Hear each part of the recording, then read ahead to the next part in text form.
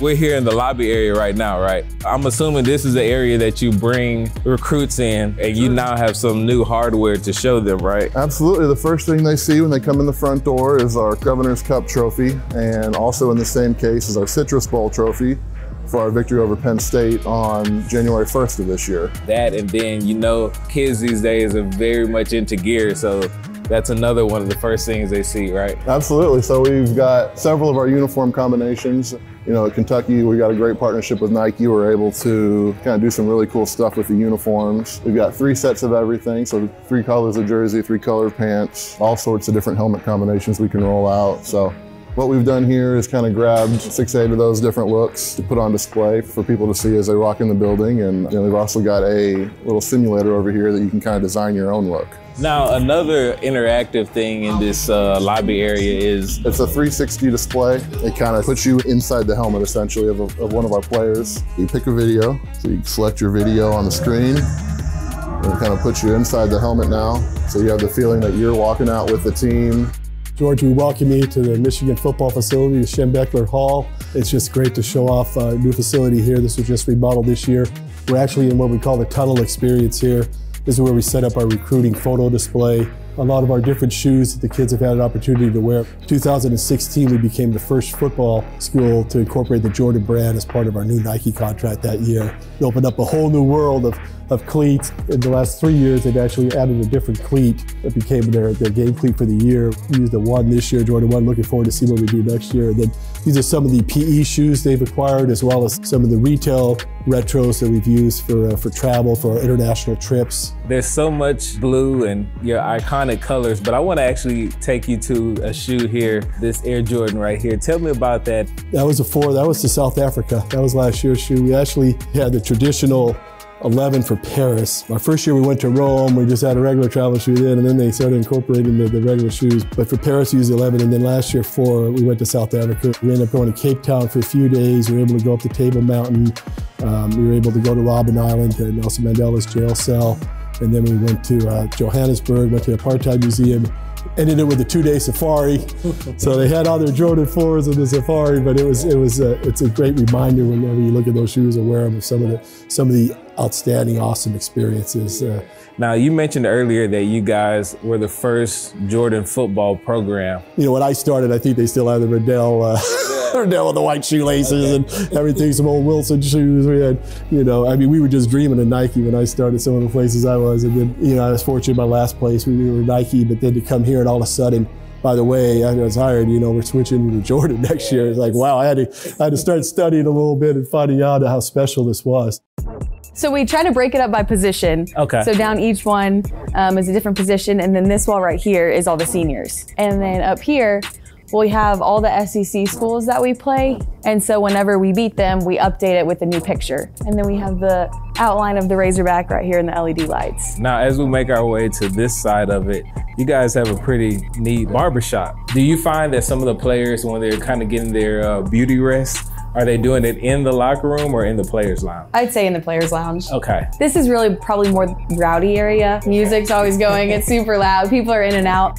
Now we're here in the Ackerson Theater. This is our team meeting room as well as you know, we have athletic department meetings, six stripes on the side of Go Navy. So the six stripes were something that we uh, collectively got with Under Armour, and it stands for a couple things in the Navy. Six original frigates, six stripers, the highest ranking midshipman, on the yard and the six original fleets in the Navy. So we, along with Under Armour, tell a story in a lot of the stuff. I mean, on the screen, you'll see there's battle print and it lists every battle that is also at Navy Marine Corps Memorial Stadium around the walls. So we have about 230 seats. They all have flip up desks with you know, our iconic N-Star Navy logo.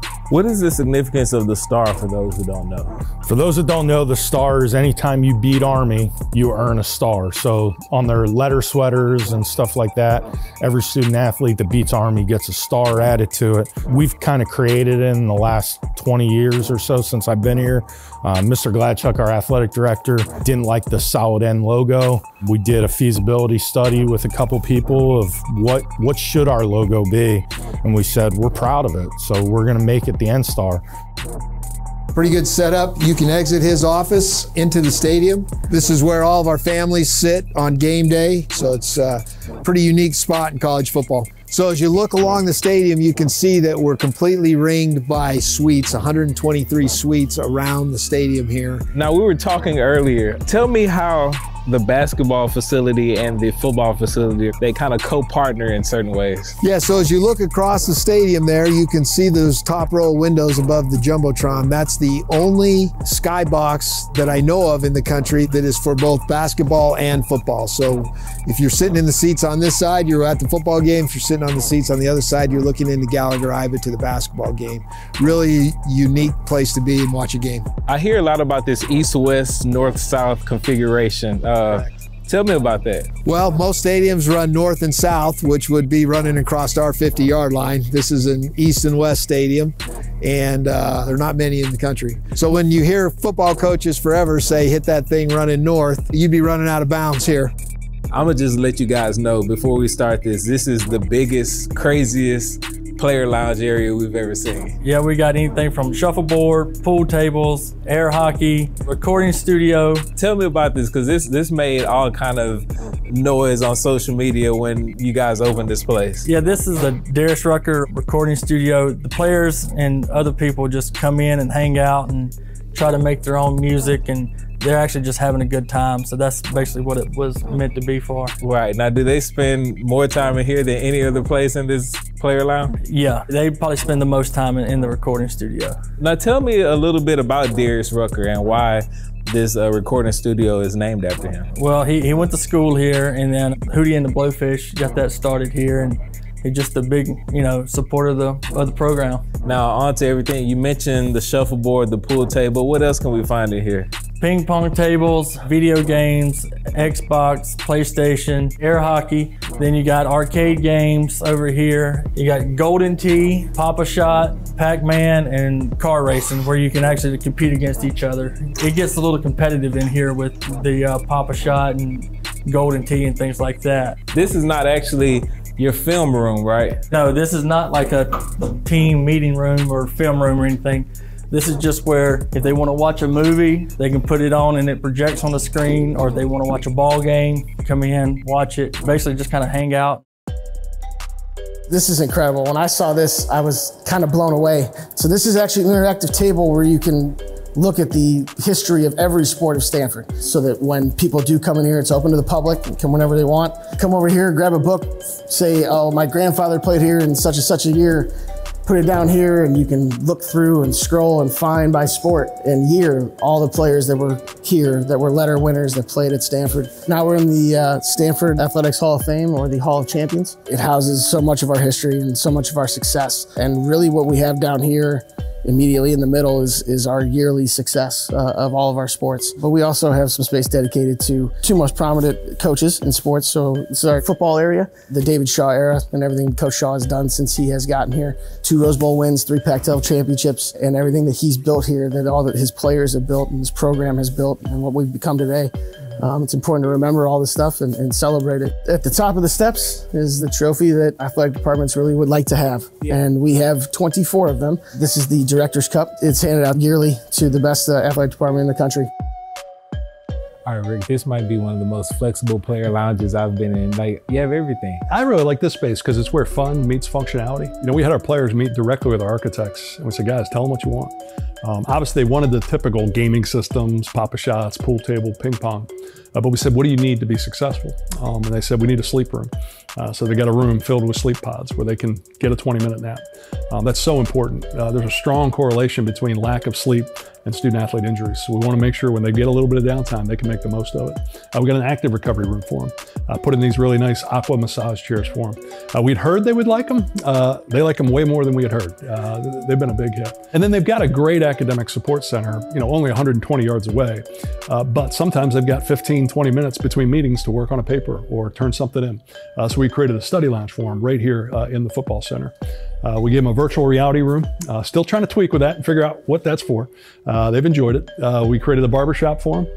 Uh, that way the guys, instead of having to take an hour and a half out of the day to go get their haircut, they can pop in and out of here in 10 minutes. And then because of NIL, we wanted to make sure they had some new tools uh, to really help them with their branding, help them with their communication skills, uh, and help them develop skills that are going to uh, serve them long after they're done playing football. So we created a uh, an audio podcasting room, which can also be a video podcasting room, and it's connected to a video editing suite. So you really got everything you would have almost in a TV studio right there. So right now we're in the lobby of the Bright Football Complex. This is open like Monday through Thursday during the season. This basically tells you everything about all uniforms. The tech info goes to the helmet, tells you about the helmet, what it does. It goes in full detail of every single item we have that we give to the players and when they suit up on game days. Compression tops all the way down the cleats, customizable armbands and socks. And then when you go to customize, this is the cool part for like little kids and anybody of all ages, man. You can put your name in there, number, and you can choose all the different alternate helmets we have. You can do the iced out and it goes right to it. You can email it to yourself and then you can share it on any social media outlet, kind of see what your name will look like in the back of the on a 12th man jersey or any number jersey or any style. Now we go over to the legends of A&M and the trophies that they have earned. Got the Lombardi trophy from that win in 98, or goes by the year. Of course, the famous 2012 season with Johnny Manziel. Got a couple trophies, and then when Trevor Knight transferred from Oklahoma, he got the self-service award. Our recent winner, the Ray Guy Award, presented to Braden Mann for the best punter in the nation. Johnny actually has his Heisman up here, which Every Heisman winner gets one for themselves and one for the school. We actually have two Heisman winners. Not too many new Ags know about John David Crow, but a lot of old Ags do, you know. Go to the Johnny Manziel Shrine, shows all his highlights. As a better, you demand perfection, and MyBookie delivers. NFL, college football, and a brand new cash out system give you options to bet and win all season long. First two legs of your parlay hit? Cash out early and place another bet, or let it ride for a chance at a bigger payday. Join the MyBookie family for an entire season filled with daily odds boosts, same game parlays, and super contests. This season, MyBookie has a no strings attached cash bonus. It lets you deposit and withdraw quick. Use promo code COISKI on a deposit of $50 or more, and you can receive up to $200 in cash instantly to your MyBookie account. Bet your deposit amount once, and you're ready to withdraw at any time. Again, that's promo code COISKI to claim your cash deposit bonus. You can bet anything, anytime, anywhere. Only with MyBookie.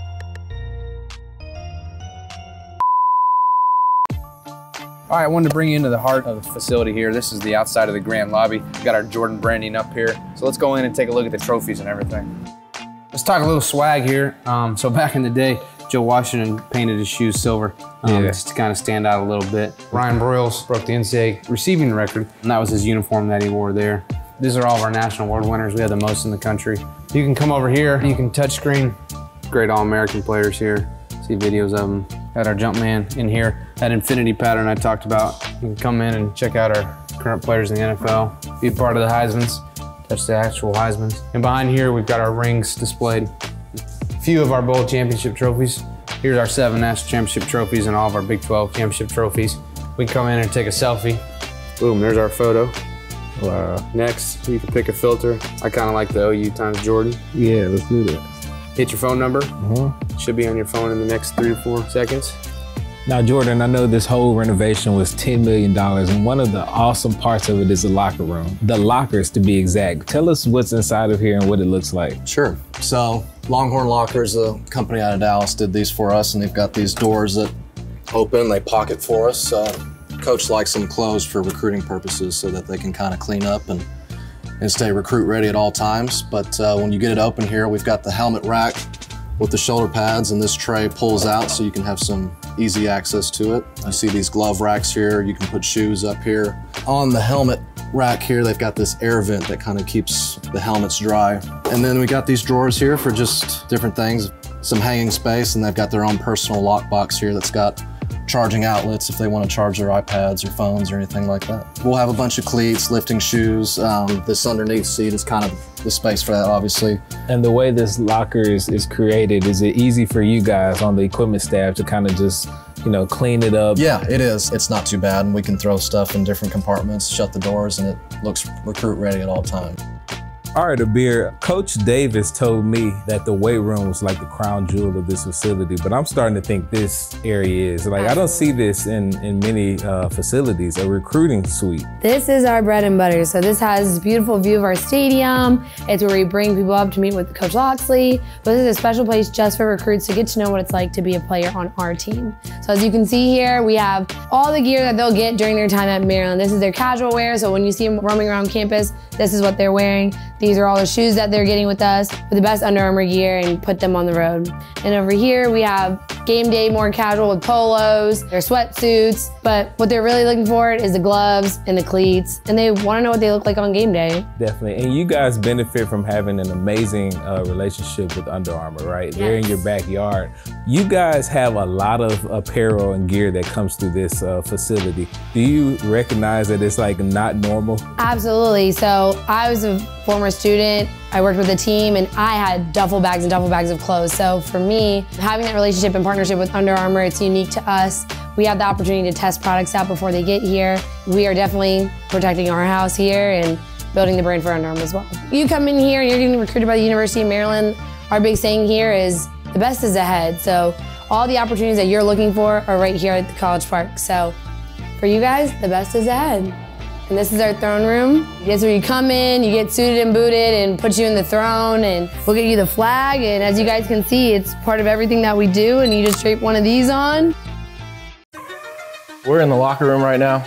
State of the art locker room. You can see the stone on the wall, kind of has like that cabin home feel. And we put the doors on the lockers, make it clean, flush look. And we have ventilation running throughout the locker room nonstop. One thing we did add is the logo of Ralphie in the ceiling rather than doing it on the ground so we don't have to rope it off and people aren't stepping on her. Uh, we put it up there as just respect. So when the team gets here on game day, whatever we're wearing that day, we'll have it set out for them. We have it right now with our traditional home uniform gold helmet, black jersey, gold pants, and then whatever cleat they wear, their gloves, their compression shirt, and socks. We'll have it laid out real nice for them. Hopefully our man George right here will try on a jersey and a helmet for us, take a couple pictures. Definitely, I'm not putting the pants on this time. That's perfectly fine. I think the lounge is kind of like where they get away and they can shut this door and, and it's really off limits to everybody except for the players. So this is really their haven. You know, we have two stations right here where they can play the Xbox, PlayStations, and all the other gaming systems. We have our, our traditional ping pong. We got pool, we got foosball. During the season, we usually have a couple pinball machines right here. Everybody loves to have a game of pop and shot, so we got the pop and shot. And then once again, we're always stacking it with water, Gatorade food. And I think the highlight of the whole deal is the bowling alley. Training camp, you can get some competition, some receivers versus DBs. We'll take it from the field and bring it to the bowling alley and see who can get the most strikes and stuff. I think this space right here really gives them a true sense of withdrawing from football, decompressing, and just having some just normal fun without without the confines of the coaches and stuff like that. So this is kind of like their their safe haven where they'll come and relax and really let their hair down and kind of get away from football for a little bit. All right, Lewis, obviously this locker room is different, unique compared to any other locker room in the country, but from the naked eye, what makes this locker just the individual ones? What makes it different? You see it in its, uh, its sitting up position, right? Um, guys can come in, we usually keep the lights low during the day, and then they can come in here, take this backrest, bring it down, put it here, pull out a pillow, and catch a nap. Goodness gracious. And then you guys have the chargers. Yeah, chargers form, chargers up top in the lockbox as well, so they can put phones up there and charge them. Or if they're down below, they can be, do it there. Now, this locker room doesn't smell like a locker room. Right. At all. The bottoms of the lockers where you keep your cleats and things like that, it has exhaust air out. Um, we're always pumping fresh air in. And then we have a separate room that we keep shoulder pads in that does the same as well. Give me the backstory of this place. I know when the design firm came to you guys and was like, hey, you know, you guys wanted something different.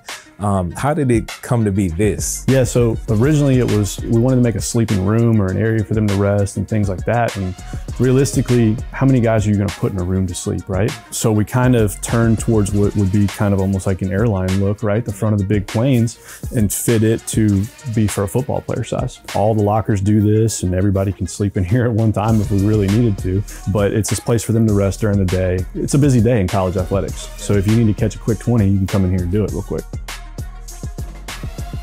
We're standing here in the lobby of Woltosz Performance Center.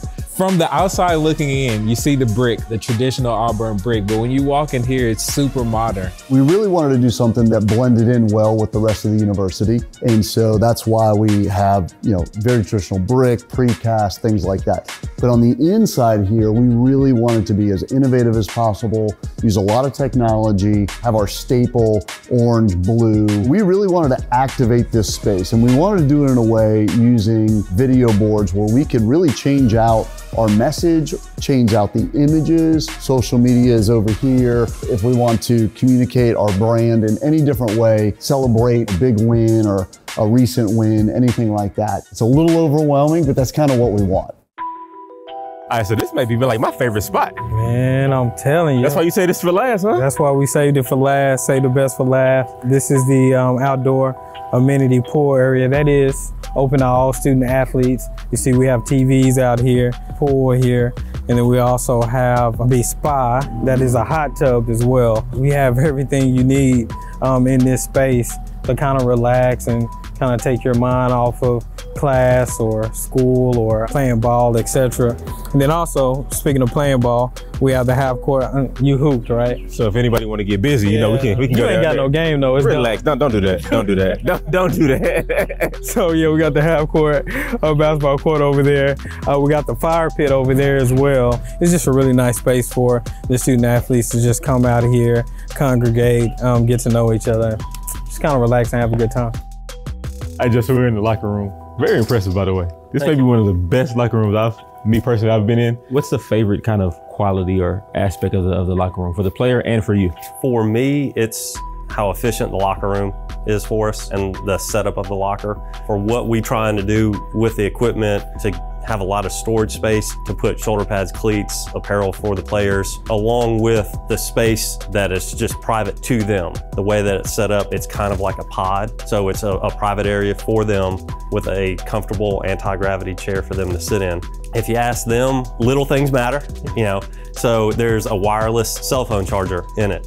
That was probably the biggest thing when, when we moved in here last year was they were excited to have a wireless cell phone charger. So to have something where they can come in, just set it down on their locker and they can let it charge during practice and not have to worry about a plug or anything. But overall, the players have liked it. They- love having the chair.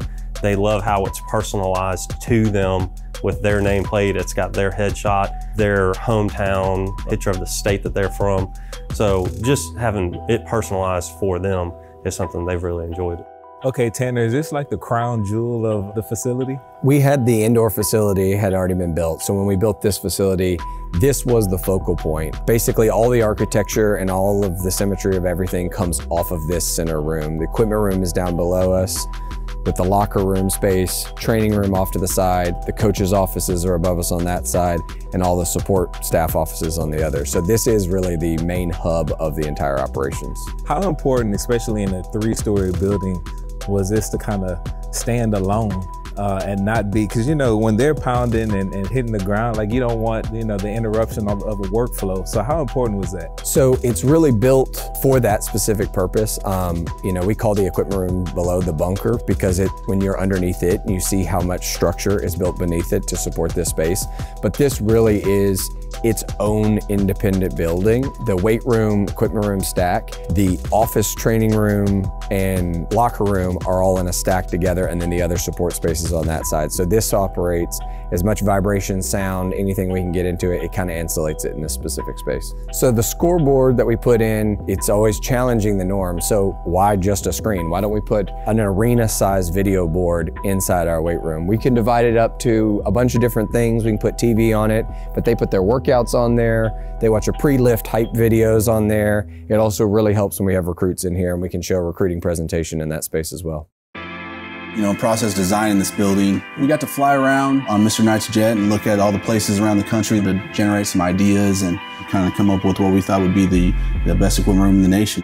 Now, Kenny, everyone loves sneakers, right? Mm-hmm. Everyone loves sneakers, and, and I'm seeing a wall of will be a lot of people's holy grails? I like to tell people, you know, our relationship with Nike is second to none. You know, a lot of people refer to this place as Nike University. We're blessed to, you know, have them gift us with with some shoes and take care of our athletes with some heat. The first kind of SMU retro that we did was a 2010 season, and we did that Black Nine. Now, Kenny, how have you seen recruiting actually strengthened from this initiative? Guys come in so educated about this stuff. Social media has been a big, you know, player in that, and you know, it really is exclusive. So, Mm-hmm. you know, it's one of those things that you know, when guys come in here, they're like, "Oh, I've se- I've seen pictures of these," or I know a guy that had a pair of these. You know, that obviously is just another feather in our cap. That you know, you Yeah. come to a place like Oregon and you're taking advantage of being, you know, number one school for Nike. These logos at the top. Yeah. Tell me about this. So when they were designing the fitting room, which is you know all big thanks to you know a couple people. So I know Gallagher Design had a big part in designing this stuff, and, and obviously our friends at Nike. You know each one of these is our mascot, the duck, just kind of roughing up you know all the other teams in our conference and their mascots. What is this chair? What is this throne? Uh, so this throne, really, it's in honor of Phil and Penny Knight, who obviously the generosity to this program and this university is, you know, unbelievable as far as things they've donated to athletic facilities and campus buildings. So this is our helmet room. Obviously in here, this is where we're putting together and building all the helmets. Sometimes we're working on things that are kind of top secret or we got to work kind of ahead of everybody to make sure it's ready to go. So we don't want people to see. So we have the ability, if we need to, because there's so much glass around here, that we can can fog the glass out and make sure that people can't see in here. This is kind of like an archives of cool helmets we've done over the years. They're all enclosed behind this glass, so we can't really get to them, but just to kind of showcase some of the, some of the cool stuff we've done. What has been your favorite helmet uh, over the years? You know, I I started in school here and way back, so my personal favorite is our throwback helmet because that's how it looked when I first started here. So most of the stuff is started with recommendations from players, things that they wanted to see or colors they wanted to introduce, or hey, let's do some kind of a BCA game, a breast cancer awareness game. All right, and then leave it to the people up up in Beaverton, and they'll come out with a full, you know, kind of neon pink helmet and with Mhm. glitter in it. You know, it's just taking it to that next level, getting to see it from the ground floor all the way up. It's really an amazing deal to watch.